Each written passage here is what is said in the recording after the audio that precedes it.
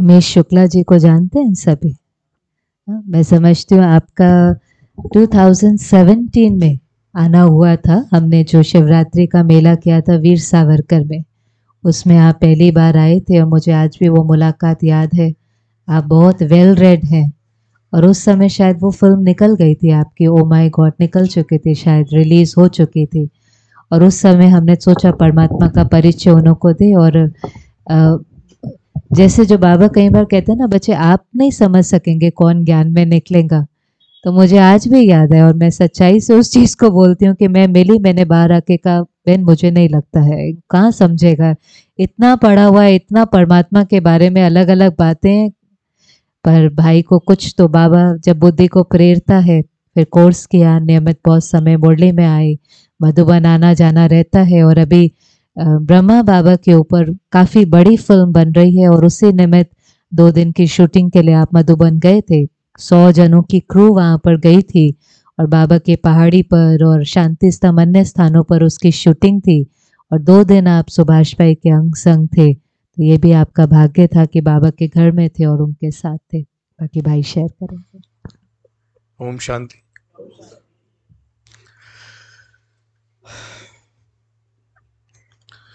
मेरा परिचय 2017 में ही उनसे भी हुआ था सुभाष भाई से। क्योंकि उस वक्त मैं वहाँ का कोई एक फेस्टिवल था वहाँ पे एज अ चीफ गेस्ट गया हुआ था। और सुनाई दे रहा है पीछे? हाँ तो उस वक्त मेरा एक अनुभव मैंने सुभाष भाई को ऐसे ही बताया था। सुभाष भाई से मेरी मुलाकात कैसे हुई थी कि मैं जैसे ही वहाँ एज अ चीफ गेस्ट था तो वो उन्होंने मुझे वहाँ पे, वहाँ मिले और मुझे बताया कि आप बॉलीवुड में काम करते हैं। मैंने बोला हाँ करता हूँ। अभी एक फ़िल्म आई, बोला अच्छा है, हमने यहाँ पर देखी फ़िल्म बहुत अच्छी फ़िल्म है। फिर मुझे नाश्ता कराने लेके गए। तब बताया कि ये जो भी डाइनिंग जो वहाँ का था, उनके इंचार्ज वो थे। और, इतना प्यार से मुझे उस वक्त उन्होंने नाश्ता करवाया। फिर बोला कि आपको पता है पांडव भवन कहाँ है, कैसा है? मैंने बोला कि सुना है पर गया नहीं हूँ और मुझे जाने की बहुत ही तीव्र इच्छा है। तो उन्होंने कहा, कल सुबह चार बजे आप तैयार रहना, मैं आपको लेकर जाऊँगा। तो मैं दूसरे दिन चार बजे उनके साथ गया। तब से हमारी, हमारा जो रिश्ता था इतना गहरा हो चुका है कि मतलब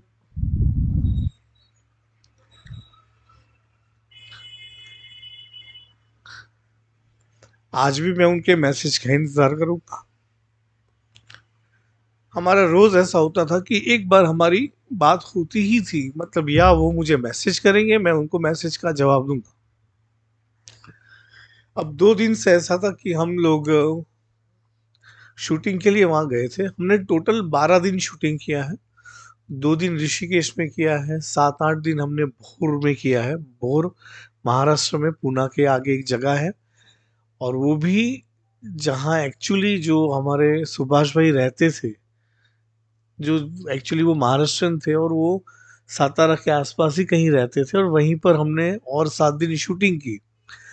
तो तब भी मेरी उनसे बात होती थी। मैं कहता था, मैं भोर में हूँ, बोला अच्छा है, वहाँ ये खाना खा लेना या ये कर लेना। आप हमारे सेंटर से ये आ जाएगा, आप ये कर लेना। ये सब चीज़ें हमारी रोज़ बात होती थी। पिछले दो दिन से हमारी शूटिंग थी वहाँ पर माउंट आबू में ऊपर ज्ञान सरोवर में और पांडव भवन में हमारी शूटिंग थी। ये actually light and sound show होने जा रहा है लेज़र का बहुत बड़ा शो होगा, जो बाबा के ऊपर बन रहा है और पीएम पार्क वहाँ, प्रकाश मणि दादी जी का वहाँ एक पार्क बन रहा है। है एक्चुअली पर वहाँ पर भी बहुत बड़ा लाइट एंड साउंड शो ये समर से शुरू हो जाएगा तो उसका शूटिंग था। तो वैसे ही हमारा जब भी मिलना होता है तो हम इतना प्यार से मिलते हैं। मतलब मैं ऐसा लगता है कि मेरे बिछड़े हुए अब कोई भाई हो, उतने हमारे रिश्ते अच्छे हो गए थे। और मैंने कहा उन्होंने मुझे कहा कि, अब कहाँ शूटिंग करोगे? मैंने बोला, पहले एक बैलगाड़ी का एक किस्सा है, जो बाबा जब कराची, पाकिस्तान से जब यहाँ आए थे तो कैसे स्ट्रगल करके बाबा यहाँ आए थे। तो हमने बोट का शूटिंग ट्रेन का शूटिंग वो सब चीज़ें कर ली थी जो स्टीमर में वो आए थे वो सब शूटिंग पहले हो गई थी। एक बैलगाड़ी वाला जो था जब पहाड़ी पे चढ़ते थे तो वो एक सीन बाकी था और एक सीन बाकी था शांति स्तंभ का और एक सीन बाकी था जो बाबा मेडिटेशन करवाते थे पहाड़ी पर। तो तीन सीक्वेंस बा, बाकी थे। तो सुभाष भाई ने मुझे अपनी इच्छा व्यक्त की कि ऐसा हो सकता है कि मैं भी फ़िल्म में एक बार आ जाऊँ तो मेरी ऐसी सेवा हो जाएगी। और मैंने बोला कि आप तो मेरे भाई हैं, आप ऐसा क्यों कहते हो? मैं अभी आपको आपको कहाँ बैठना है? बोलो, बैलगाड़ी में बैठना है कि आपको पहाड़ी पे आना है। तो बोला कि नहीं, मैं पहाड़ी पे आऊँगा, क्योंकि वहाँ का मेडिटेशन मुझे बहुत अच्छा लगता है। और और एक बार इसके पहले भी हम दोनों पहाड़ी पर गए हैं। और हम दोनों ने वहाँ मेडिटेशन भी किया हुआ है। चाय और ऐसा थर्मोस में लेकर गए थे, उनको पता है कि मुझे चाय चाहिए होती है तो पता नहीं उनका ऐसा होता था कि पता कर लेते हैं क्या चाहिए तो चाय का थर्मोस भी लेकर आए थे और मुझे पता नहीं था कि उनके झूले में चाय है। मतलब मैं यहाँ ऊपर गया था जब पहली बार 2000 कोविड के पहले ही गया था। तब मेरे साथ हम लोग, हम ऊपर थे और मैं बोला, यहाँ तो एक चाय पीनी चाहिए। तो बोला, मैं पिलाता हूँ, करके उन्होंने चाय निकाली और मुझे चाय और बिस्कुट खिलाए और मैंने बोला कि ले देखो, कैसा हो गया ये तो चाय और बिस्कुट खिलाए। अब हमारी लैंग्वेज में कट्टू बोलते हैं कि यहाँ से सीन कट हो गए कल के सीन परसों के सीन की बात करता हूँ मैं। कल उन्होंने अपना देह छोड़ा। उसके पहले वाले दिन की बात करता हूँ कि वो बैलगाड़ी वाले सीक्वेंस में भी मैं राह देख रहा था कि अभी आएँगे, क्योंकि बहुत पास था ज्ञान सरोवर के, जहाँ शूटिंग कर रहे थे, पर वो आए नहीं। फिर मैं तो शूटिंग का इतना रश होता है, हम इतना क्रू लेकर चलते हैं, इतने सारे लोग होते हैं और कैमरा को वहाँ ऊपर तक चढ़ाना, वो भी बहुत एक जद्दोजहद वाली बात होती है कि कैसे लेके जाएँगे। तो हम लोग का पूरा एक एक होता है ना, दृढ़ निश्चय, बाबा ने कहा है हमेशा कि आप रहते हो, आज की उसमें भी यही था कि अगर आपका वो करेक्ट है कि आपको करना ही है तो आप कर सकते हो। तो हम सब लोग क्रू के साथ ऊपर चढ़ गए और मैं ने देखा कि सुभाष भाई भी पीछे आ गए। मैंने बोला, देखो, आप आ गए ना यहाँ पे? बोला हाँ और चाय लेकर आए हूँ। उन्होंने बोला, मैंने बोला, ये देखो, कितना अच्छा है। फिर मैंने पूरा सेटिंग यूज़ किया। सबको बिठा दिया था योग के लिए, क्योंकि एक बाबा बैठे हैं। बाबा भी आप देखोगे, जिन्होंने जो परफॉर्म किया है, जो धर्मेंद्र गोहिल करके लड़के हैं, बहुत ही गुणी, बहुत ही अच्छे आत्मा वाले वो भी हैं और आत्मा तो सबकी अच्छी होती है, पर इतने प्यारे इंसान है जिन्होंने बाबा का रोल निभाया है। आप देखोगे तो आपको आँसू आ जाएँगे। आपको लगेगा कि आप बाबा को मिल लिए। इतना अच्छा आपको एहसास होगा। तो बाबा बैठे थे और उसके पीछे सारे लोग बैठे थे और मैंने सुभाष भाई को आगे बिठा दिया। बाबा बैठे हैं, उनकी लेफ़्ट हैंड साइड पे और एक दादी है और उसके बाद मैंने उनको बिठा दिया। तो उनको इतना अच्छा लगा और और शॉट क्या होता है कभी कभी रीटेक होता है कट होता है, दो बार होता है, तीन बार होता है। ऐसे चार पाँच बार मैंने अलग अलग शॉट लिए। एक ड्रोन से होता है कि एक ड्रोन से ऊपर से एरियल शॉट ले लेते हैं। ऐसे पाँच छह अलग अलग शॉट लिए। तो जिस तरह से सुभाष भाई को मैंने कहा था कि आप इरेक्ट बैठना, जैसे टट्टार बैठना और आप अच्छे से योग करना तो इतना अच्छा उनको लगा। फिर आए और उन्होंने मेरा हाथ ऐसे पकड़ लिया। मैंने बोला सुभाष भाई, क्या हो रहा है आपको? बोला, कुछ नहीं, थोड़े चक्कर से आ गए मुझे। तो मैंने बोला, पहले वही चाय, पहले जो आप मेरे लिए लाए आप पीजिए और आप बिस्कुट खाइए। तो हम दोनों ने बैठकर बिस्कुट खाए। फिर वो नॉर्मल हो गए। वहाँ डॉक्टर भी थे जो नीचे से आए थे ग्लोबल हॉस्पिटल है हमारा वहीं पे। वहीं से एक बहन भी आई थी। उन्होंने पल्स देके बोला, एकदम अभी नॉर्मल हो गए। तो कुछ दिन कुछ देर ध्यान में उनको इतना अच्छा लगा कि उनको लगा कि मैं बाबा के साथ ही बैठा हूँ। उनका ऐसा अनुभव था। मैंने बोला, ये तो बहुत अच्छी बात हो। गई तो बोला कि, देखो, पहले मैंने आपको पांडव भवन में दर्शन कराए थे। आज आज आपने मुझे करा दिए। ऐसा सुभाष भाई ने मुझे कहा। फिर मैंने कहा कि, ये तो बहुत अच्छी बात हो गई।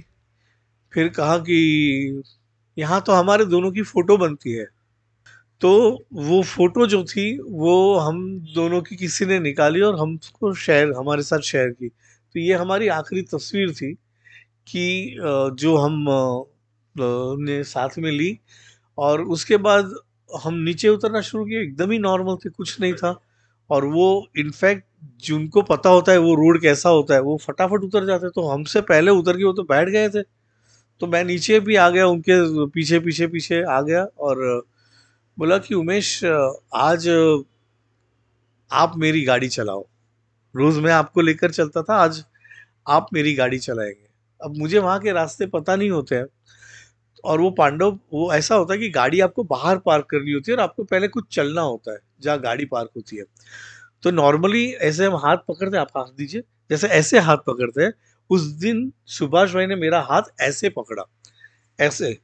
इतना कस के उन्होंने मेरा हाथ पकड़ा और मैंने बोला, बाबा, बोला, एकदम मैं ठीक हूँ। आप खाली मेरे साथ चलो। और हम ऑलमोस्ट 500 मीटर तक चलकर ऐसे ही हाथ में हाथ डाल के चलते रहे। मेरी वाइफ भी थी साथ में और हम दोनों गाड़ी में बैठे और मैं ऑटोमेटिक गाड़ी चलाता हूँ, वो गियर वाली थी। तो मेरी वाइफ ने बोला कि आपको ये गियर वाली चलेगी? और उनको, मेरी वाइफ को ये डर था कि ये रास्ते पता नहीं है, ये जो छोटे छोटे रास्ते होते हैं, हम बड़े रोड के लिए आदि होते हैं। तो आप चला लोगे? ऐसे ही डाउट किया ताकि मेरी वाइफ को लगा कि फिर सुभाष भाई खुद ही बोलेंगे, नहीं नहीं, मैं चला लेता हूँ। ऐसा होता है ना, पत्नी अलग तरह से बोलती है कि उनको भी बुरा ना लगे। ऐसा हो। तो यहाँ पर सुभाष भाई ने बोला कि नहीं, उमेश भाई चला लेंगे ये गाड़ी आज। तो सारथी मुझे बनाया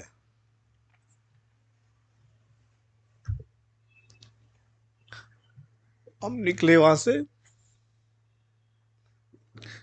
बीच में पांडव भवन आता है, वहाँ से आप जाते हो बाबा पहाड़ी से, और मेरी वाइफ को वॉशरूम जाना था। तो मेरी वाइफ के लिए वापस पांडव भवन ही रुके।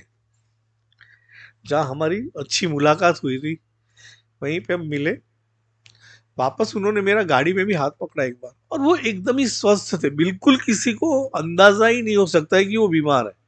खाली एक सेकंड के लिए उनको ऐसे चक्कर आए थे, वो भी उन्होंने ऐसा बताया कि मैं मेडिटेशन में इतना ये हो गया था। कि मुझे अच्छी अनुभूति हुई, ये अनुभूति है, और कुछ नहीं है।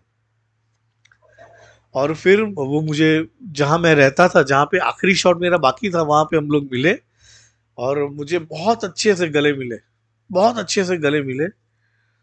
आखिरी टोली उनके हाथों से ही मैंने खाई।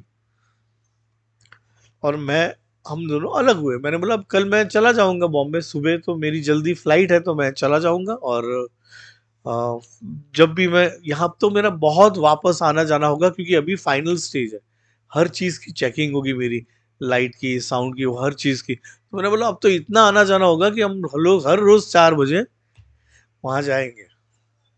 और मैं फ़्लाइट से लैंड किया, जैसे ही फ़्लाइट लैंड हुई और फ़ोन वहाँ एयरपोर्ट पे प्लेन में रहते हो और आपको बोलते कि आप अपना फ़ोन यूज़ कर सकते हो और मैंने फ़ोन जो है, वो चालू किया। चालू किया। शिविका बहन का एक दो तीन ऐसे मिस कॉल थे। शिविका बहन वहाँ, जो वहाँ की इंचार्ज है हमारी। फिर मैंने मैंने बोला कि एक बार लगेज ले लेता हूँ, फिर बात करता हूँ। क्योंकि वो लगेज लिया, हम लोग गाड़ी में बैठे, वापस शिविका बहन का फ़ोन आया कि मैं कब से मैं कोशिश कर रहा हूँ और आपका लग नहीं रहा है। मैंने बोला, क्या हुआ? मेरा शूटिंग तो सब बराबर हुआ ना? बोला हाँ वो हुआ। पर सबसे पहले आपको ये बताना है कि सुभाष जी नहीं रहे। मतलब इतना हमारा अच्छा एक अनुभव था। पर बाबा कहते हैं ना कि ये व्यवस्थित नाटक है। एक्यूरेट ड्रामा है ये। वरना हम दोनों को ऐसे मिला ना, क्या कोई वो वो था ही नहीं। कोई चांस ही नहीं था। अगर मैं ये शूटिंग पहले यही शूटिंग हम भोर में करने वाले थे। पांडव भवन भी वहाँ क्रिएट करने वाले थे पहले। वहाँ वहीं पे बनाने वाले थे। पर ऐसा था कि हमें मिलना है, इसलिए वो शूटिंग वहाँ वो दिनों में नहीं हो पाया।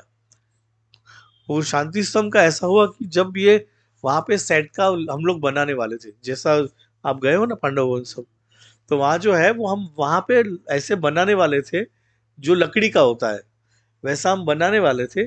पर मैंने बोला कि वो फील यहाँ नहीं आएगी जो पांडव भवन में आएगी। तो मेरे टेक्निकल यूनिट बोलने लगी, पर उस वक्त का जो जो था और इस वक्त में काफ़ी चीज़ें पीछे स्ट्रक्चरली चेंज हो गई है। मैंने बोला, जब अगर भावना सही हो तो स्ट्रक्चर कुछ भी होगा, फ़र्क नहीं पड़ेगा। लोगों की भावना उस वक्त उसी चीज़ में रहेगी। तो वो मेरा मेरा, मैंने ये शिविका बहन को कहा कि, बहन, थोड़ा खर्चा थोड़ा ज़्यादा हो जाएगा, पर उसकी भी चिंता आप मत करना। हमारा क्रू जो है वो ऐसे ही आ जाएगा, कोई चार्ज नहीं लेगा। पर हम जाएँगे और वहीं जाके करेंगे शूटिंग क्योंकि उसका जो महत्व होगा, जो हमारा, जो हम लोग जो ज्ञान में चल रहे हैं और दूसरे भी जो है, वो वो चीज़ को देखेंगे तो और अच्छे से देखें। उसके लिए हम वहीं पर शूटिंग किए और वही चीज़ थी वही वजह से हम सुभाष भाई को मिल पाए और दो दिन ऐसे साथ में रहे, दो भाई की तरह। Thank you very much Om Shanti. Subhash भाई का जो विशेष संस्कार था, वो पालना का था। आप डाइनिंग में सेवा देते थे, ज्ञान सरोवर का जो भंडारा और डाइनिंग था, और कोई भी वहाँ पर जाता था तो उसको घर की भासना आती थी। ज्ञान तो हम सब सुनते थे, लेकिन जब हम वहाँ जाते थे तो हमें घर की वासना आती थी। चाहे वो कोई वीआईपी हो, साधारण हो, हम बहने हो, हमें भी उनका हमेशा बहुत प्यार और पालना मिली। और बाबा हमेशा कहता है, पालना याद रह जाती है। ज्ञान कभी कभी भूल जाता है। पालना याद रहती है जैसे भाई भी सुना रहे थे वो चाय वो बिस्किट वो जो केयर होती है वो हमेशा याद रहती है। और हम लोग भी बहने जब जाते थे तो कहते थे इधर घूमने जाना है वाटरफॉल देखने जाना है इधर जाना है। तो कहीं बहुत ऐसे थे वो उनको बहुत ऐसा था कि हम मैं मुझे जब क्यूरियोसिटी होती थी कि ये इतना लोगों का खाना और इतना स्वादिष्ट और सबके लिए सेम भोजन और कैसे आप बना पाते हो? तो हमेशा वो मुझे लेके जाते थे, अंदर तक दिखाते थे कि कैसे वेजिटेबल का कटिंग होता है, कैसे इतनी रोटियाँ बनती है। कल जब मेरे इतने क्रू आए थे तो वो लोग भी ताजुब थे कि कभी कभी तो ये 2000 की लोगों की बात नहीं है, पाँच हज़ार, पच्चीस हज़ार लोग नीचे आते हैं कभी कभी जब फेस्टिवल होता है, हर पंद्रह दिन में बीस, पच्चीस हज़ार लोग वहाँ आते हैं। तो सबका खाना ऐसे कैसे बनता है? तो कैसे सोलार सिस्टम और कल मेरे यूनिट को सबको उन्होंने दिखाया। वहाँ वो जर्मन भाई भी थे जिन्होंने गोलो भाई। गोलो भाई थे जिन्होंने वो सोलार सिस्टम लगाई वो भी थे। तो उनके साथ भी वो तो आए ही थे कि देखो कैसे ये बनाया। तो इतने उनको सेवा का भाव बहुत था उनका। तो ज़रूरी है हम ऐसी आत्मा से प्रेरणा भी लें और ज़रूर ड्रामा में उनका आगे वंडरफुल पार्ट है। बहुत बड़ा बाबा को ऐसी विशेष योगी आत्माएँ चाहिए जिनसे बाबा अपना आगे का विशेष बड़ा कार्य करवा सके। तो यही कहेंगे कि एक न्यू बिगनिंग है। एक चोला छोड़ दूसरा लिया है और एक बहुत सुंदर नई शुरुआत है और हम सबने उनसे बहुत सीखा है, बहुत पालना ली है और जो सीखा और पालना ली है वो हमें सबको देनी है। तभी हम सब मिलकर के दो मिनट उस आत्मा को शांति का दान, योग का दान देंगे। ओम शांति। उमेश भाई का बहुत बहुत थैंक्स आप कल रात ही पहुँचे। मैंने सबसे पहले समाचार उमेश भाई से प्राप्त किया। हमारी बिल्डिंग बाजू बाजू में है। मैं नीचे खड़ी थी और उनकी कार आई और उन्होंने कहा मैं आबू से ही वापस आया हूँ। और फिर जब वो बता रहे थे तो मुझे समझ में नहीं आ रहा था। वो कहते बहन ड्रामा एक्यूरेट है ऐसा हुआ पर मुझे समझ नहीं आया वो किस चीज़ की बात कर रहे हैं। फिर मैंने उनको पूछा सुभाष भाई मुझे था कि उनको पता ही होगा क्योंकि वो एक दो घंटे के अंदर ही हुआ तो अभी तक समाचार पहुँचा नहीं था। फिर उन्होंने बताया तो हमें संकल्प था कि आप लग संग उनके रहे हैं दो दिन तो ज़रूर क्लास के साथ अपना अनुभव शेयर करें। यही हमारी शुभ भावना और दुआएँ उनके साथ हैं। ओम शांति। थैंक यू हाँ